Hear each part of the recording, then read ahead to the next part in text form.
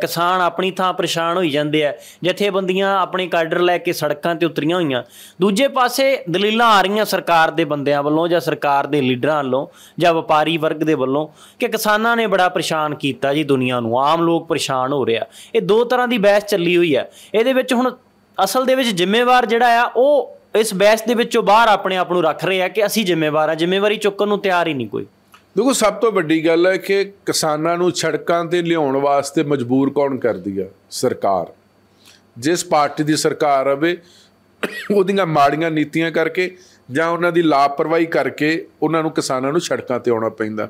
ਜੇ ਬਾਕੀ ਦੁਨੀਆ ਆਪਣੇ ਘਰ ਬੜੀ ਜ਼ਿੰਦਗੀ ਵਧੀਆ ਕੱਟ ਰਹੇ ਨੇ, ਤੇ ਉਹ ਕਿਸਾਨ ਜਿਹੜਾ ਨੇਰੇ ਸਵੇਰੇ ਹਨੇਰੀ ਝੱਖੜ ਦੇ ਵਿੱਚ ਫਸਲ ਨੂੰ ਪਾਲਦਾ, ਉਹਨੂੰ ਵੇਚਣ ਲੱਗਿਆ ਫਿਰ ਸੜਕਾਂ ਤੇ ਆਉਣਾ ਪਵੇ, ਕੌਣ ਜ਼ਿੰਮੇਵਾਰ ਆ?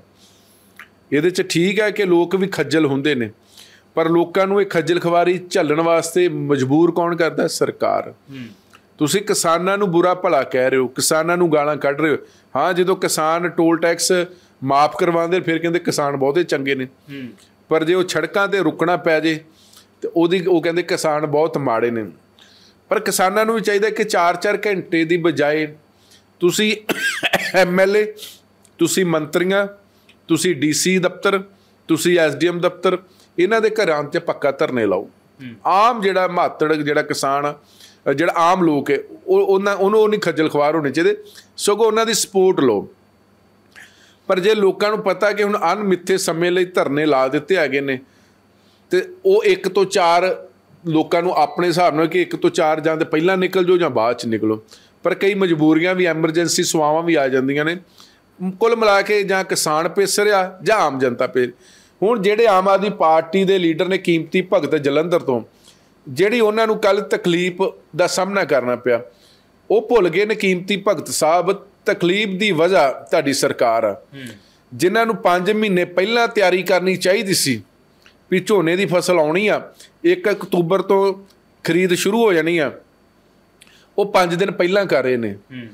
ਜੇ ਤੁਹਾਡੀ ਸਰਕਾਰ ਨੇ, ਤੁਹਾਡੀ ਪਾਰਟੀ ਨੇ ਪੈਰਵਾਈ ਕੀਤੀ ਹੁੰਦੀ, ਤੇ ਅੱਜ ਕਿਸਾਨ ਛੜਕਾਂ ਤੇ ਨਹੀਂ ਹੁੰਦਾ। ਆ ਤੇਜ਼ੀ ਖਰੀਦ ਦੇ ਵਿੱਚ ਪੰਜ, ਕਈ ਦਿਨ ਪਹਿਲਾਂ ਚਾਹੀਦੀ ਸੀ।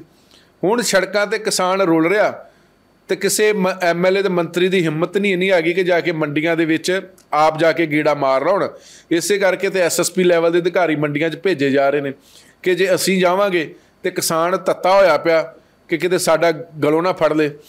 ਹੁਣ ਕੀਮਤੀ ਭਗਤ ਸਾਹਿਬ ਜਿਹੜੇ ਆਪਣੇ ਕੀਮਤੀ ਵਿਚਾਰ ਪੈਦਾ ਕਰ ਰਹੇ ਨੇ ਉਹ ਕਹਿੰਦੇ ਪੰਜਾਬ ਦਾ ਨੁਕਸਾਨ ਪੰਜਾਬ ਦਾ ਪੱਠਾ ਪੰਜਾਬ ਦਾ ਅਰਥਚਾਰਾ ਪੰਜਾਬ ਦਾ ਵਪਾਰ ਉਹ ਕਹਿੰਦਾ ਕਿਸਾਨਾਂ ਨੇ ਬਿਠਾ ਦਿੱਤਾ ਹੈਗਾ। ਕਹਿੰਦੇ ਕਦੀ ਸ਼ੰਭੂ ਧਰਨਾ ਲਾ ਦਿੰਦੇ ਨੇ ਸਾਡੀ ਇੰਡਸਟਰੀ ਖਤਮ ਹੋ ਗਈ। ਕਦੀ ਆ ਛੜਕਾਂ ਰੋਕਦੇ ਸਾਡਾ ਕਾਰੋਬਾਰ ਠੱਪ ਹੋ ਗਿਆ।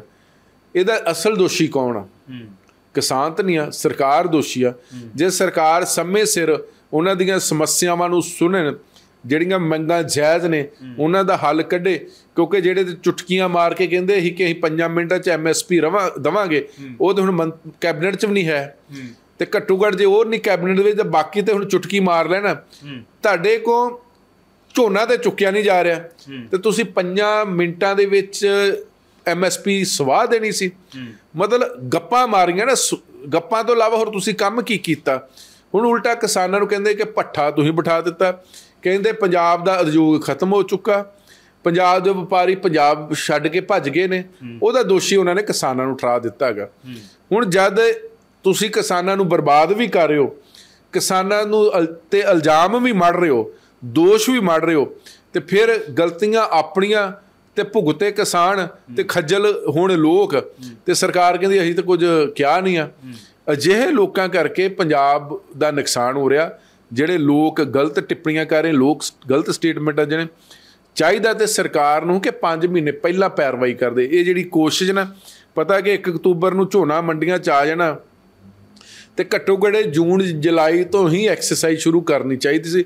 ਉਦੋਂ ਹੀ ਇਹਨਾਂ ਦੇ ਵਜ਼ੀਰਾਂ ਨੂੰ ਤੇ ਅਫਸਰਾਂ ਨੂੰ ਦਿੱਲੀ ਦੇ ਗੇੜੇ ਮਾਰਨੇ ਚਾਹੀਦੇ ਸੀ।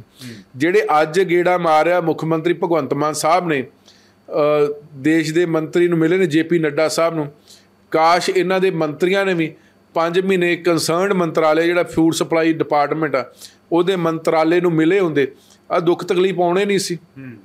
ਅੱਜ ਵੀ ਉਹਨਾਂ ਨੇ ਜਿਹੜੀ ਕੈਸ਼ ਕ੍ਰੈਡਿਟ ਲਿਮਟ ਜਾਰੀ ਕੀਤੀ ਹੈਗੀ 48000 ਕਰੋੜ ਰੁਪਈਆ। ਉਹਨਾਂ ਨੇ ਤੇ ਦੋਨੇ ਪਹਿਲਾਂ 30000 ਕਰੋੜ ਰੁਪਈਆ ਹੁਣ 48 ਉਹਨਾਂ ਨੇ ਤੇ 180 ਲੱਖ ਟਨ ਦਾ ਟਾਰਗੇਟ ਰੱਖ ਕੇ ਜੋ ਝੋਨੇ ਦੇ ਐਮਐਸਪੀ ਮਿੱਤੀ ਆ ਉਸ ਹਿਸਾਬ ਨਾਲ ਉਹਨਾਂ ਨੇ ਤੇ ਪੈਸੇ ਦੇ ਦਿੱਤੇ। ਪ੍ਰਬੰਧ ਤੁਹਾਡੇ ਕੋਲ ਨਹੀਂ ਆਏ ਪ੍ਰਬੰਧ ਤੁਹਾਡੇ ਕੋਲ ਨਹੀਂ ਹੋਏ। ਤੇ ਨਾ ਤੁਹਾਡੇ ਨੂੰ ਨਾ ਤੁਹਾਨੂੰ ਤੁਹਾਡੇ ਅਫਸਰਾਂ ਨੂੰ ਤੇ ਨਾ ਤੁਹਾਡੇ ਮੰਤਰੀਆਂ ਨੂੰ ਕਰਨੇ ਆਏ। ਤੇ ਗੁੱਸਾ ਤੁਸੀਂ ਕਿਸਾਨਾਂ ਤੇ ਕੱਢ ਰਹੇ ਹੋ ਜਾਂ ਬੀਜੇਪੀ ਤੇ ਕੱਢ ਰਹੇ ਹੋ? ਅਜਿਹੀ ਸਥਿਤੀ ਦੇ ਵਿੱਚ ਹੁਣ ਕਿਸਾਨ ਕਰਨ ਕੀ? ਕਿਉਂਕਿ ਕਿਸਾਨ ਦੇ ਮੰਡੀਆਂ 'ਚ ਆ ਕੇ ਅਫਸਰਾਂ ਦੇ ਅੱਗੇ ਹੱਥ ਜੋੜ ਰਿਹਾ। ਉੱਪਰੋਂ ਹੁਣ ਸਰਕਾਰ ਦੇ ਜਿਹੜੇ ਲੀਡਰ ਨੇ ਕੀਮਤੀ ਭਗਤ ਵਰਗੇ ਉਹ ਹੁਣ ਕਿਸਾਨਾਂ ਨੂੰ ਪੰਜਾਬ ਦਾ ਦੋਸ਼ੀ ਵੀ ਦੱਸ ਰਹੇ ਨੇ ਪੰਜਾਬ ਦਾ ਦੋਖੀ ਵੀ ਦੱਸ ਰਹੇ ਹੈਗੇ ਨੇ। ਇਹ ਸਰਕਾਰ ਕੋ ਇਹ ਵਾਲੀ ਜਿਹੜੀ ਖਰੀਦ ਆ ਇਹ ਪ੍ਰੋਪਰ ਹੋਈ ਨਹੀਂ। ਇਹ ਇੰਨੀ ਆਪਣੇ ਆਪ 'ਚ ਕਿਉਂਕਿ ਸਰਕਾਰ ਡਾਵਾਂਡੋਲ ਸਥਿਤੀ 'ਚ ਹੀ ਉਹ ਸਾਂਭਦੇ ਰਹੇ ਤੇ ਦਿੱਲੀ ਵਾਲਿਆਂ ਦੀ ਪੂਜਾ ਕਰਦੇ ਰਹੇ। ਜੇ ਉਹਨਾਂ ਨੂੰ ਛਿੱਕ ਆਉਂਦੀ ਸੀ ਤੇ ਭੱਜ ਕੇ ਦਵਾਈ ਦੇਣ ਚਲੇ ਜਾਂਦੇ ਸੀ ਤੇ ਪੰਜਾਬ ਇਹਨਾਂ ਨੇ ਲਵਾਰਸ ਛੱਡ ਦਿੱਤਾ ਸੀ। ਜਿਵੇਂ ਹੁਣ ਮੰਡੀਆਂ ਦੇ ਵਿੱਚ ਕਿਸਾਨ ਲਵਾਰਸ ਹੋਇਆ ਫਿਰਦਾ ਤੇ ਜੇ ਕਿਸਾਨ ਦੁਖੀ ਹੋ ਕੇ ਸੜਕਾਂ ਤੇ ਆਉਂਦੇ ਨੇ ਤੇ ਉਹਨੂੰ ਕਹਿੰਦੇ ਕਿ ਪੰਜਾਬ ਦਾ ਬੇੜਾਗਰ ਕਿਸਾਨਾਂ ਨੇ ਕੀਤਾ। ਇਹ ਸਰਾਸਰ ਜਿਹੜੇ ਕੀਮਤੀ ਭਗਤ ਹੋਣਾ ਦੇ ਜਿਹੜੇ ਵਿਚਾਰ ਨੇ ਉਹ ਐਂਟੀ ਪੰਜਾਬ ਨੇ। ਕਿਉਂਕਿ ਜੇ ਪੰਜਾਬ ਦਾ ਕਿਸਾਨ ਨਾ ਲੜਿਆ ਤੇ ਫਿਰ ਪੰਜਾਬ ਦਾ ਵਪਾਰੀ ਵੀ ਨਹੀਂ ਹੈਗਾ। ਤੇ ਜੇ ਪੰਜ- ਪੰਜਾਬ 'ਚ ਕਿਸਾਨੀ ਖਤਮ ਹੋ ਗਈ ਫਿਰ ਦੇਸ਼ ਵੀ ਨਹੀਂ ਹੈ ਨਾ। ਦੇਸ਼ ਦੇ ਵਿੱਚ ਕਿਸਾਨ ਵਪਾਰ ਇੱਕ ਆਪਣੇ ਥਾਂ ਜਗ੍ਹਾ ਖੇਤੀਬਾੜੀ ਦੀ ਆਪਣੀ ਜਗ੍ਹਾ ਗਿਆ ਨਹੀਂ ਤੇ ਫਿਰ ਦੇਸ਼ ਨੂੰ ਪਤਾ ਕਿ ਅਸੀਂ ਅਮਰੀਕਾ ਤੇ ਰਸ਼ੀਆ ਵਰਗੇ ਜਿੱਦਾਂ ਭਿਖਾਰੀ ਨਹੀਂ ਮੰਗਦੇ। ਅਸੀਂ ਭਿਖਾ- ਭਿਖਾਰੀ ਸੀ ਅਨਾਜ ਨੂੰ ਲੈ ਕੇ। ਤੇ ਜੇ ਹਰੀ ਕ੍ਰਾਂਤੀ ਪੰਜਾਬ ਦੇ ਵਿੱਚ ਨਾ ਆਉਂਦੀ ਜਾਂ ਪੰਜਾਬ ਦਾ ਕਿਸਾਨ ਨਾ ਜਾਗਦਾ ਨਾ ਸਮਰਥ ਹੁੰਦਾ ਤੇ ਅੱਜ ਤੱਕ ਅਸੀਂ ਠੂਠਾ ਫੜ ਕੇ ਨਾ ਤੇ ਵੱਖ-ਵੱਖ ਮੁਲਕਾਂ ਦੇ ਪ੍ਰਧਾਨ ਮੰਤਰੀਆਂ ਦੇ ਤਰਲੇ ਕਰਨੇ ਸੀ ਜਿਵੇਂ ਉਸ ਸਮੇਂ ਇੰਦਰਾ ਗਾਂਧੀ ਹੁਣੀ ਕਰਦੇ ਰਹੇ ਸੀ। ਤੇ ਅੱਜ ਸਾਡੀਆਂ ਸਰਕਾਰਾਂ ਦੇ ਨੁਮਾਇੰਦੇ ਕਹਿੰਦੇ ਨੇ ਕਿ ਕਿਸਾਨਾਂ ਨੇ ਬਰਬਾਦ ਕਰ ਦਿੱਤਾ ਹੈਗਾ ਪਰ ਕਿਸਾਨ ਉਹ ਆਪਣੇ ਥਾਂ ਵੀ ਸਾਡੀਆਂ ਮੰਗਾਂ ਪੂਰੀਆਂ ਕਰੋ ਤੁਸੀਂ ਸਾਨੂੰ ਟਿਚਰਾਂ ਕਰ ਰਹੇ ਹੋ।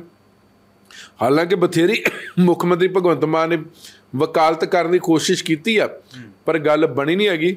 ਹੁਣ ਅੱਜ ਉਹ ਖਰ- ਖਾਦ ਨੂੰ ਲੈ ਕੇ ਤੇ ਮੇਲਾਏ ਨੇ, ਪਰ ਮੰਡੀਆਂ ਦੇ ਵਿੱਚ ਜਿਹੜੇ ਅੰਬਰ ਲੱਗ ਗਏ ਨੇ, ਉਹਨਾਂ ਅੰਬਰਾਂ ਦਾ ਕੀ ਕਰੀਏ? ਹਨਾ? ਤੇ ਫਿਰ ਕਿਸਾਨ ਕਹਿੰਦਾ ਹੈਗਾ ਕਿ ਜਿਹੜੇ ਅਸੀਂ ਆਪਣੇ ਹੱਥਾਂ ਨਾਲ ਚੁਣੀ ਹੋਈ ਸਰਕਾਰ ਅਸੀਂ ਉਸ ਸਰਕਾਰ ਦਾ ਕੀ ਕਰੀਏ? ਔਰ ਹੋ ਸਕਦਾ ਕਿ ਇਹਨਾਂ ਮੰਡੀਆਂ ਦੇ ਵਿੱਚ ਜਿਹੜੀ ਖਰੀਦ ਸਮੇਂ ਸਿਰ ਨਹੀਂ ਹੋ ਰਹੀ ਔਰ ਬੜੀ ਹੌਲੀ ਖਰੀਦ ਹੋ ਰਹੀ ਆ ਘੱਟ ਗਤੀ ਦੇ ਨਾਲ, ਇਹਨਾਂ ਚਾਰ ਜਿਮਨੀ ਚੋਣਾਂ ਤੇ ਵੀ ਅਸਰ ਪੈ ਸਕਦਾ।